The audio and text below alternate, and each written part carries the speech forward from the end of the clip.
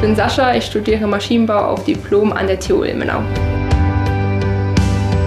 Das Diplom war für mich halt ein recht traditioneller Abschluss und ich fand mir darunter kann man sich mehr vorstellen. Auch wenn es ein traditioneller Studienabschluss ist, das Studium selbst ist sehr modern und beinhaltet alles, was man bis jetzt in der Forschung herausgefunden hat. Wir lernen genauso viel über den Ottomotor wie über Solaranlagen. Im Diplom sind wir halt sehr praxisnah, das heißt, wir haben so gut wie immer Praktika zu den meisten Vorlesungen. Wir haben eine besonders enge Betreuung von unseren Dozenten und vom Prüfungsamt. Maschinenbau ist recht mathematisch, aber man muss keine Angst davor haben. Man muss sich nur ransetzen und dann kriegt man das hin. Gut lernen kann man hier tatsächlich überall. Am einfachsten finde ich es persönlich immer noch in der Bibliothek.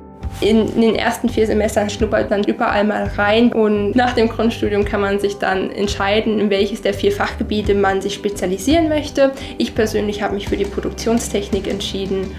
Der Studiengang ist für Leute geeignet, die gerne basteln, die sehen wollen, wie Sachen funktionieren, die keine Angst davor haben, die Fragen zu stellen, wie es funktioniert und warum man das macht. In meiner Freizeit gehe ich hauptsächlich mit Freunden spazieren. Die Natur ist schön und es ist ein guter Ausgleich ähm, zur Prüfungszeit, wenn man nur drin sitzt und lernt. Oder Fahrrad fahren oder ich schraube mit meinem Freund an Autos rum.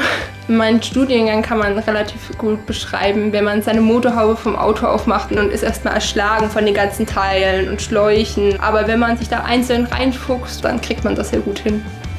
Mein Studiengang Maschinenbau in drei Worten, analytisch, anwendungsorientiert und vielseitig.